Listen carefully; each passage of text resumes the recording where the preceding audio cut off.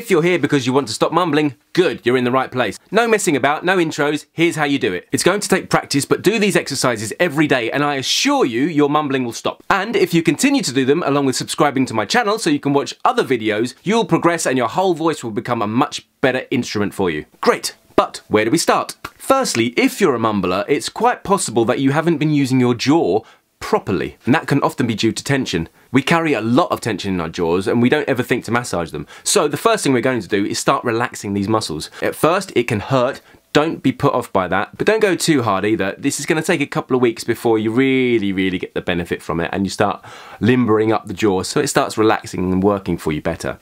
Take your palms and pull them down uh, from the top of your cheekbone over the muscle in between your jaw down to your bottom of jaw. And you can feel the tender spot in the middle somewhere. There.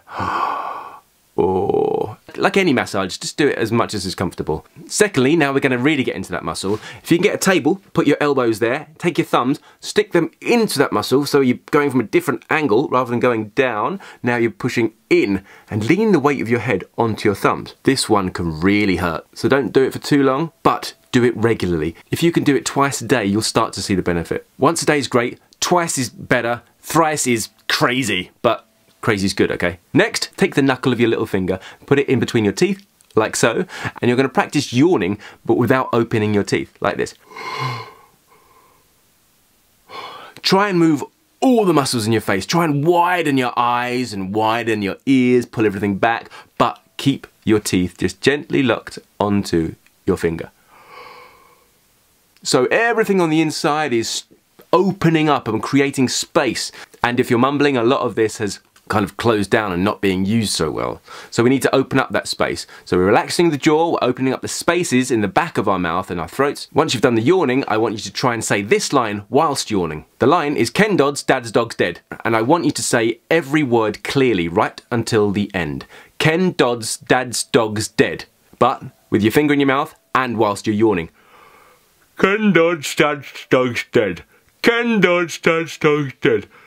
Ken Dog's Dead. Now you can do this 10, 20 times, once, twice, thrice a day, however much you can is better. If you feel anything hurting or it goes a bit too much, then pull away, have a little rest, come back to it another time. Don't worry, don't push yourself, don't be so hard on yourself. We're here to stop mumbling, not to train for the military, alright? So a quick recap, use your palms to pull down over the muscles in your jaw, use your thumbs to go into that muscle and really give it a good massage. Practice yawning with your finger in your mouth.